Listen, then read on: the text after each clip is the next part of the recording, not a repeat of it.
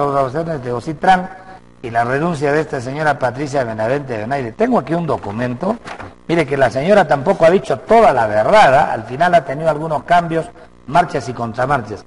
El 20 de junio del, 2016, después de la solicitud de confidencialidad de la información presentada por la Sociedad Aeroportuaria Cunturhuasi, aceptan.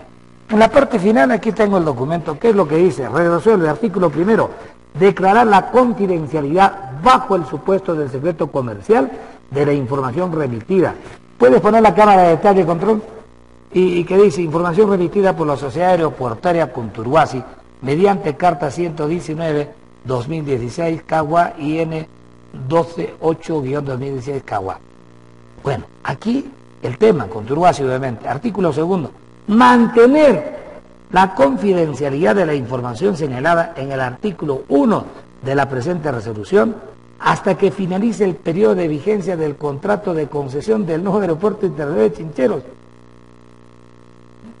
Cusco, y hasta que Ocitlán retire dicho carácter cuando la misma pierda la condición de secreto comercial. Oiga, lo único que es secreto en el Perú es el secreto de Estado, como su nombre lo dice. Pero aquí ha habido marchas y contramarchas y muchos manejos, muchos manejos. Por eso son las especulaciones. Porque, por ejemplo, no, no han querido en Ocitrán que nosotros vayamos a ver los documentos, que por derecho y por la ley de transparencia, Señor, nos corresponde.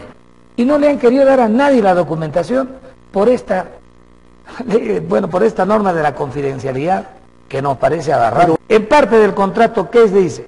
El reintegro de cofinanciamiento del aeropuerto alcanzará 35 millones de dólares al año será el pago que efectúe el contorcio Cunturguasi al Estado por la inversión que ha hecho en el aeropuerto desde que el terminal aéreo entre en operación. La concesión es por 40 años, prorrogables a 60 años. ¿Eso sabíamos? No lo sabíamos.